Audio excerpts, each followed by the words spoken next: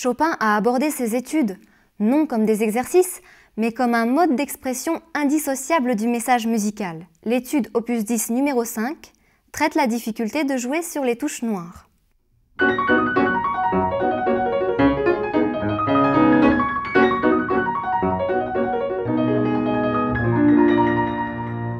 Il est vrai que c'est un morceau difficile techniquement.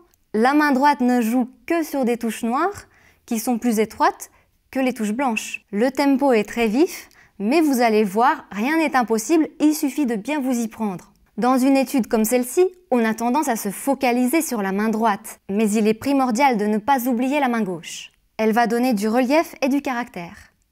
Regardez, je vais jouer avec une main gauche fade et pas du tout phrasée.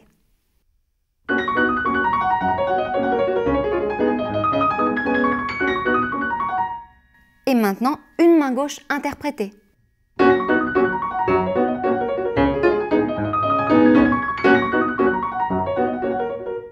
Comme vous pouvez le constater, la main droite est mise en valeur par la main gauche. Parlons maintenant du tempo. Votre objectif est non pas d'atteindre le tempo final immédiatement, mais de faire un travail de qualité dans un tempo moyen. Articulez chaque doigt.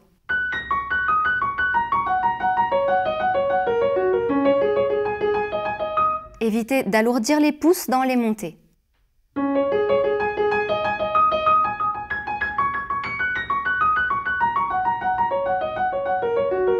Parfois, vous allez être amené à jouer un peu plus à plat que sur des touches blanches, ce qui est normal.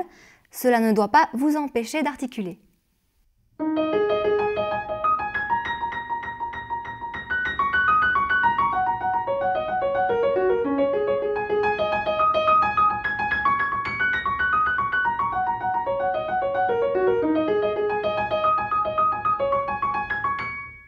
Lorsqu'on fait un effort physique au niveau des doigts, on a parfois tendance à lever les épaules sans s'en rendre compte. Si vous travaillez trop longtemps avec une épaule contractée,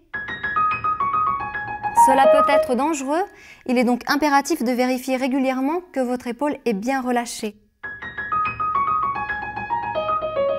Pendant que les doigts travaillent, bien sûr. Une fois que vous êtes à l'aise, rajoutez la main gauche toujours dans un tempo modéré. Bien entendu, n'oubliez pas les nuances ni les phrasés. Par exemple, le 2 par 2 à la main gauche mesure 17. Staccato.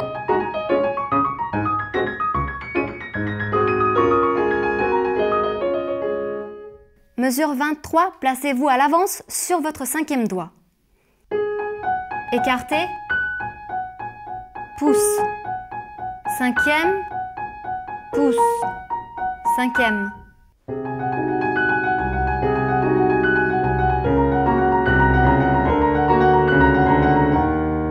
La main droite n'est pas toute seule à faire ce crescendo, suivez la progression des basses jusqu'à la mesure 32.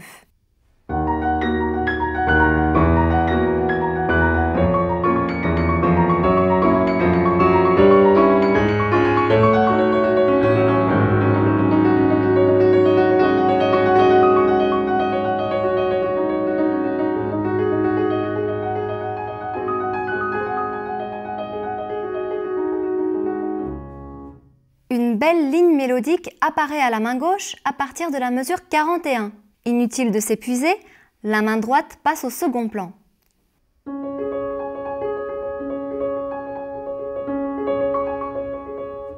Mettez en valeur les pouces de la main gauche.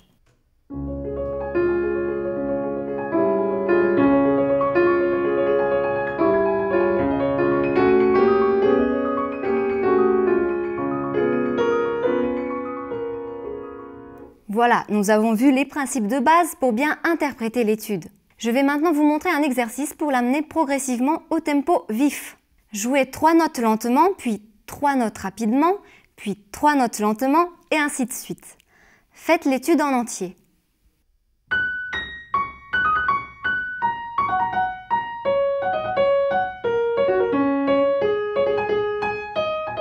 Puis inversez, trois vite, trois lentes.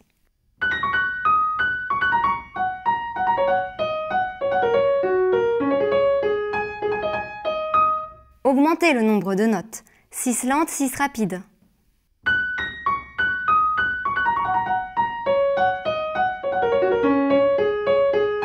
puis par 12, et vous arriverez petit à petit à enchaîner à la bonne vitesse des groupes de notes de plus en plus longs sans vous fatiguer.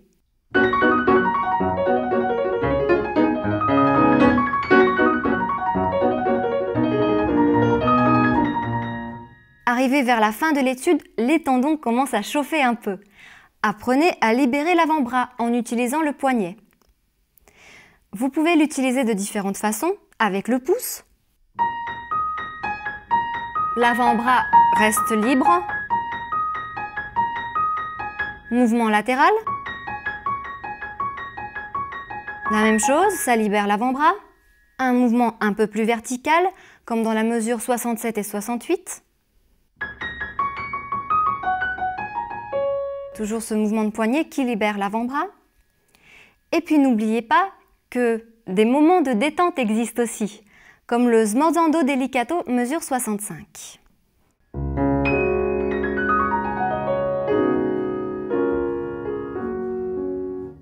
Pour résumer, ne forcez pas. Plus les difficultés sont grandes, plus notre corps a besoin de temps pour les assimiler. N'hésitez pas, après avoir bien travaillé l'étude, à la laisser de côté pour la reprendre un ou deux mois plus tard. Vous verrez que vous y arriverez de mieux en mieux.